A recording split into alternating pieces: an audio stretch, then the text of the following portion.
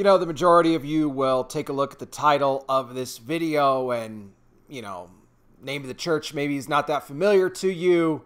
The name of the individual that was allowed to run wild in this church, despite his history, that might not be familiar to you as well. And because of that, this video will, you know, not get a lot of views at all.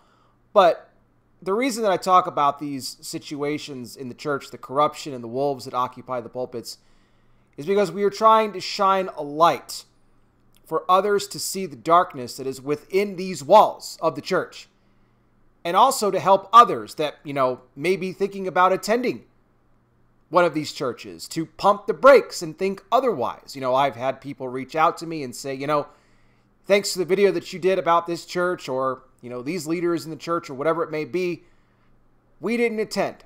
We thought about going. We were researching churches in our area and we saw your video and we said, uh uh-uh, we're not going to go there. And again, you know, this video may get 100, 200 views, something like that. But I still believe that it's important to talk about and discuss to help protect other potential victims. So we're going to get into exactly what happened here with Edgefield Nashville in just a second. But before we do that, I want to welcome all of you to Not by Sight News.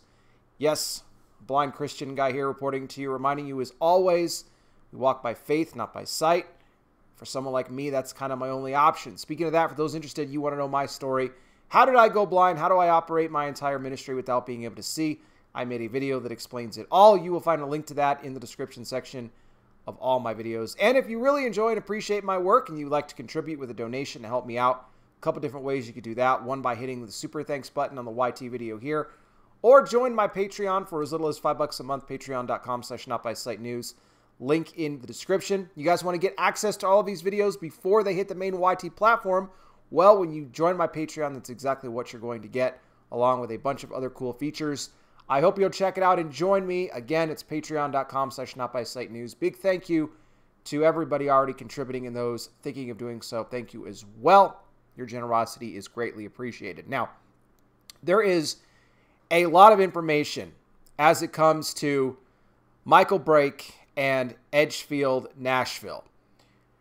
This is a church that is affiliated with the SBC and also Nine Marks. Now, Nine Marks is a very uh, a very dangerous sort of doctrine type of a church that really looks to put its leaders above congregation, even though you know, if you look up some things about Nine Marks congregations, they'll appear to be congregational, like they'll actually let the congregation take play, you know, take part in important votes. But on the other hand, you look at the way their leaders are, they often use exalted terms in speaking of one another, and it's really protecting the culture of the church, the pastors, the leadership, and all of that. And you already know about all the junk that's come out in the SBC over the course of the last couple of years as I said, there is a lot to this story. I am going to be posting a link for you over on my Patreon at patreon.com slash not by sight news. It is going to be a full report on Edgefield, Nashville, and Michael Brake. I'm only going to be covering some of it with you here on this video because if I dissected it all, I'd be doing a video on this for two hours. But if you want to read it, you can go to the Patreon. It's free to join my Patreon, okay? You can join it for free at patreon.com slash not by sight news. When you do, you will get access to these links that I provide over there. But if you do want my early uh, access to the full video commentary before it goes up on YT, then you can become a paid member for as little as five bucks a month. But let me just give you a little bit of a history here because, again, I want to encourage people to stay away from Edgefield, Nashville. They allowed a man in Michael Brake, who is a registered so, and you know, you guys know what I mean when I say so. They allowed this man to be allowed around little ones when he joined the church back in the mid 2000s. And I will point out to you that this is an individual that served multiple jail sentences for inappropriate behavior slash mistreatment of little ones. Okay? Even upon getting out of jail, he, the, the girl that he married ended up having uh, two young ones of her own that were around the same age as the ones that he, you know, did inappropriate behavior and mistreatment to. Okay? And when I say that, I'm talking about the whole thing and the the ages were around 12, 13. So his behavior had continued after his first sentence. Also, he, he apparently got into an altercation with um, a police officer that got him in some more trouble. Uh, he got physical in that situation. And yet, here he came with his wife, who, by the way, for the time, for a long time, was the only other one who knew about his past, his past criminal history. But he starts attending the church in the mid 2000s, and it was a couple from England that started attending Edgefield Nashville back in 2020. And they did so because there was an individual who was the associate pastor at the time that was actually from England. And so, you know, recommended that they come to Edgefield, Nashville until they started learning. And a lot of it thanks to their own research because, oh man, you can't expect church leadership to actually look into the past of, of Michael Brake.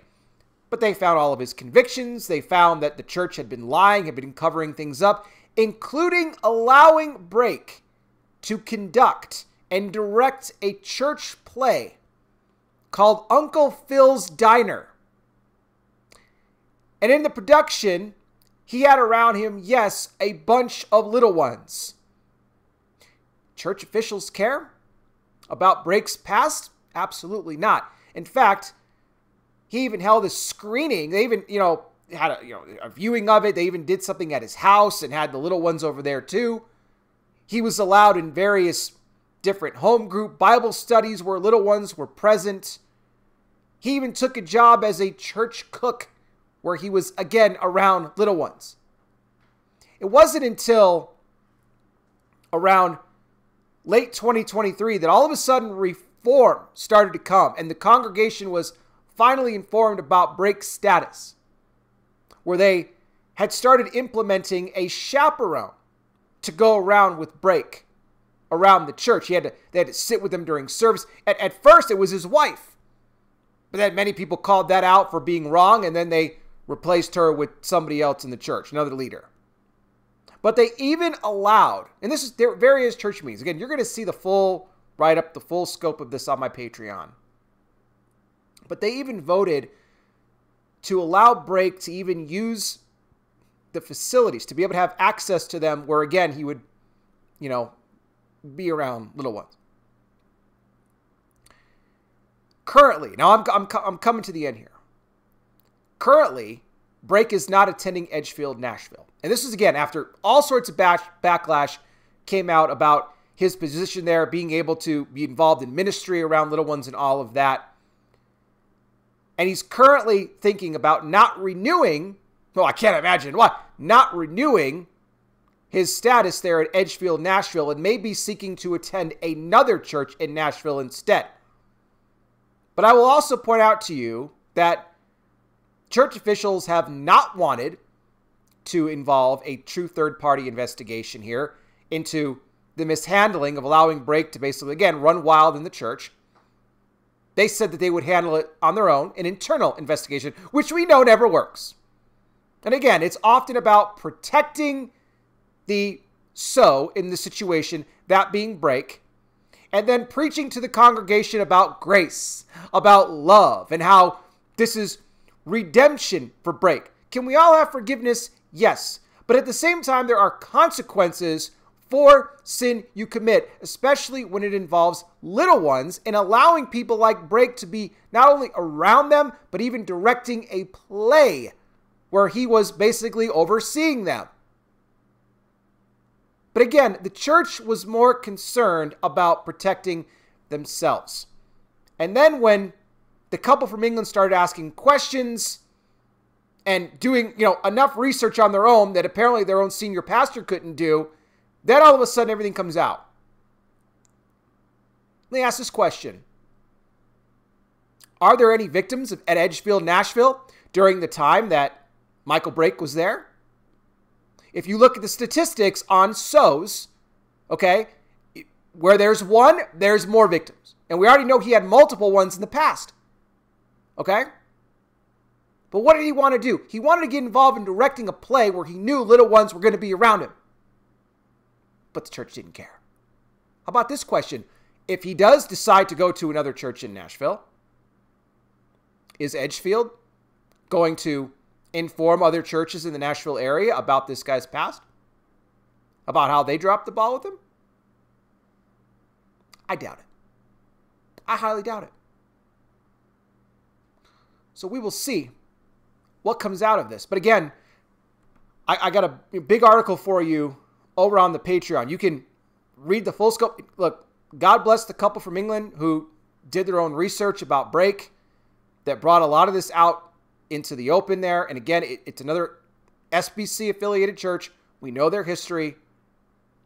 This is not a time for Christians to, you know, bury their head in the sand and pretend that corruption is not going on within your church building, within your congregation.